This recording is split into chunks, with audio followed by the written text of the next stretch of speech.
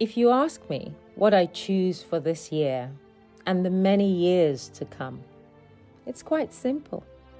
I choose love. I choose happiness. I choose to embrace the path that leads to joy and fulfillment. I choose to let go of all that may cause pain and suffering and allow myself to experience every moment as it presents itself to me. I choose the experience that is mine without trying to control the outcome. I choose to surrender, to surrender to the will of my Creator so that His will be done in my life. I choose to be gentle with myself with my physical and mental well being, to respect my body and feed my mind, to treat them lovingly, like the wonderful tools that they are, given to me to experience this wonderful physical reality. So, what more could I choose?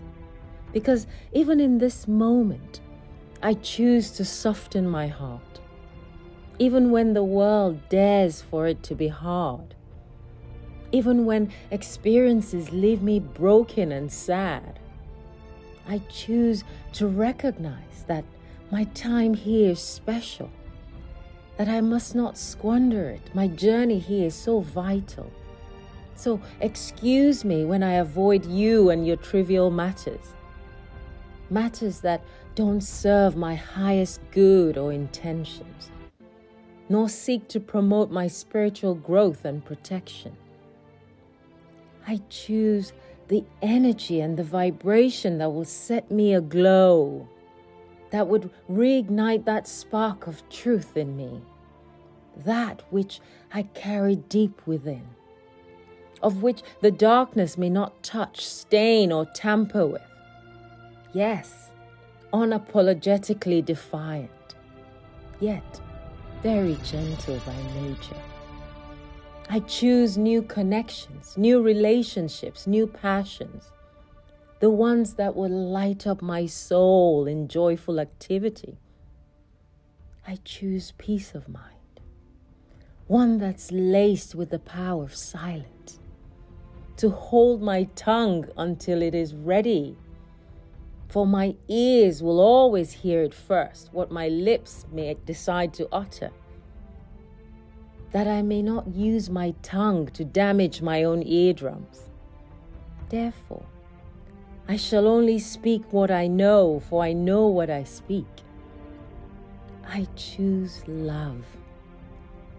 The love that is not imagined in the movies and the TV shows, but a love that serves to benefit the one it is directed to. I choose to direct it first to myself. For in learning to love myself, I thereby extend that love to others. And in loving others, I in turn love myself ever more. I choose not to pander to what pleases others nor to pretend to be what I'm not for your amusement and pleasure. No, I will not dress like a tramp and call it fashion. I may have done that when I was a caterpillar. Huh. But now the butterfly has arrived. Society does not call my shot. I now choose to play my own sport. I choose confidence one that runs through the core of my being. Because I have faith, I have trust, I have the conviction in a greater power, the power that creates worlds. And I choose to remind myself that it is in this power that I stand and this light that bathes me I must not forget the microcosmic expression of who I am and the infinite vastness of my being as I connect myself with this light. I am more than meets the eye. I choose to be more than your eyes can see. For it is not by accident that I am here. I chose to visit this market square in this very time, space, and reality. But I tell you, no matter how beautiful the masquerades dance, no matter how long the market stays open, no matter how colorful the bright lights are, no matter how beautiful the ornaments catch my eye, I am only a guest here. I cannot live happily ever after in a market square.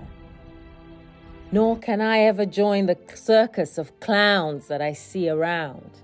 No, that is not where I belong.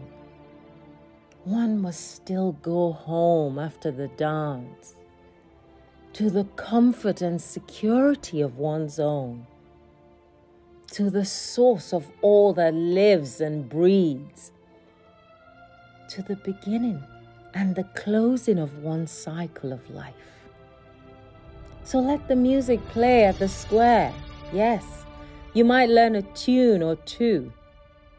Let the masquerades dance, for you might even learn a few dance moves. But let your soul always be homebound, for nothing else matters most in life.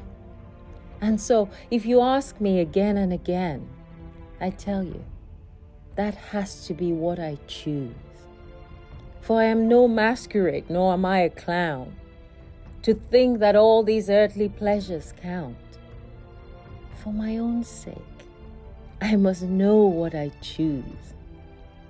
And I choose the way, the truth, and the life. For as promised, that is the path that will surely lead me back home. What do you choose?